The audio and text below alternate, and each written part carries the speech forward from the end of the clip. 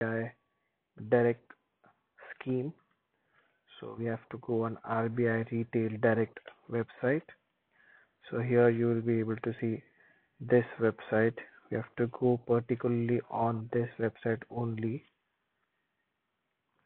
जब हम यहाँ जाते हैं तो we'll be able to see RBI Reserve Bank of India Retail Direct. This is the website जहाँ पर हमारी गवर्नमेंट ने खुद से, खुद से बनाया हुआ है ये आरबीआई ने, जो एक रिटेल इन्वेस्टर एक सिंगल पर्सन के लिए पहले जो था वो सिर्फ़ इंस्टीट्यूशंस को और we can say commercialise way में था but now you can also invest in government bonds as well as in gold bonds we can say directly. So you have to go here.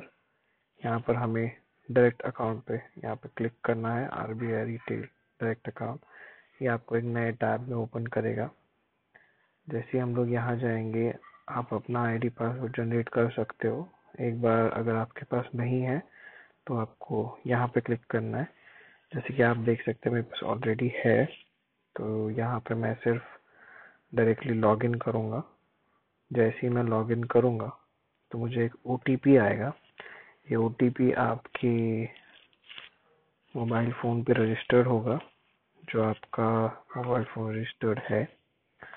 तो याद रखिएगा, कोशिश कीजिए कि ये OTP आपका वही नंबर से जुड़ा हुआ हो, जो आपका आधार कार्ड का नंबर है।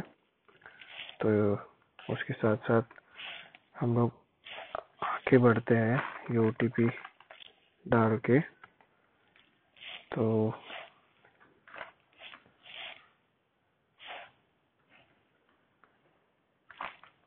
जैसे मैं ये ओटीपी वेरीफाई करूँगा।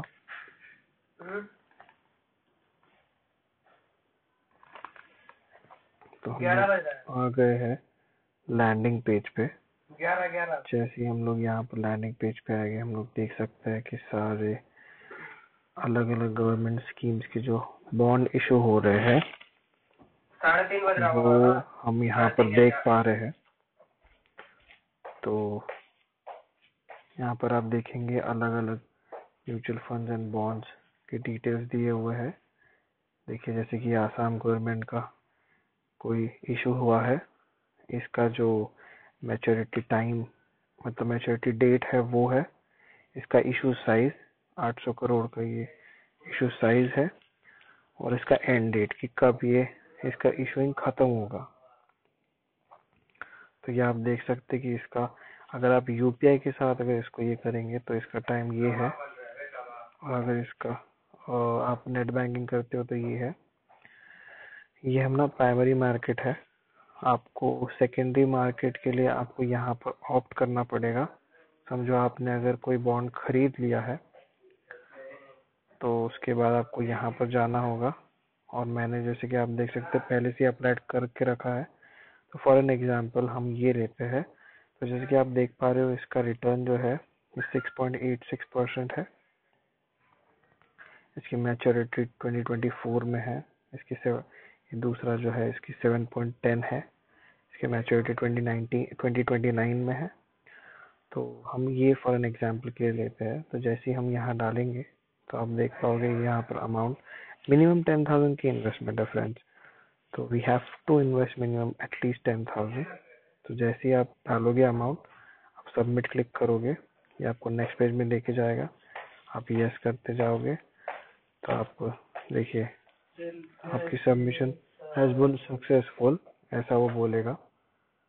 तो नाउ आपको अगर प्रोसेस करना है तो you have to see now आप लेटर भी कर सकते हो। तो जैसे ही आप यहाँ पर आओगे, आप देख पाओगे यहाँ पर दो ऑप्शन है नेट बैंकिंग एंड यूपीआई आपको जिससे करना है, आप कर सकते हो। फॉर एग्जांपल, मैंने यूपीआई चूज़ किया तो आपको उसका दो ऑप्शन है H D F C bank I C I C bank का U P I D use करके, आप इसको यहाँ पर वेरीफाई करके आई एक्सेप्ट और टेक का ऑप्शन आ जाएगा।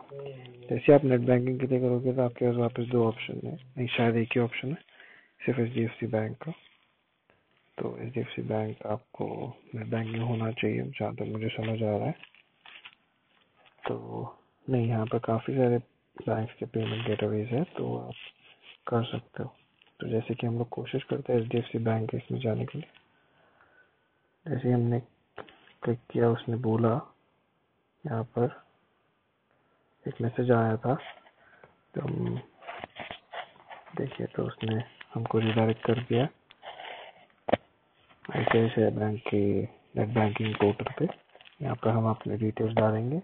पासवर्ड डालेंगे ओ जनरेट होगा, उसको पे करेंगे तो यहाँ पर आ जाएँगे। अगर अच्छा लगा तो लाइक